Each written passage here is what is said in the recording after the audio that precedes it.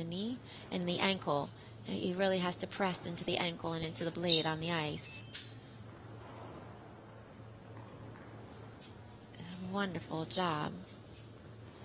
And never putting his foot down. That's right. He knows exactly, you know, where he needs to skate each loop pattern. Absolutely wonderful. This is the level of which, you know, the whole World Figure Sports Society and the World Figure Championship is striving to achieve with all of its uh, skaters and in skating history. And great appreciation from the crowd. Yes, yes. And we got to congratulate the skaters. They've completed their fourth round of the World Figure Championship. Congratulations.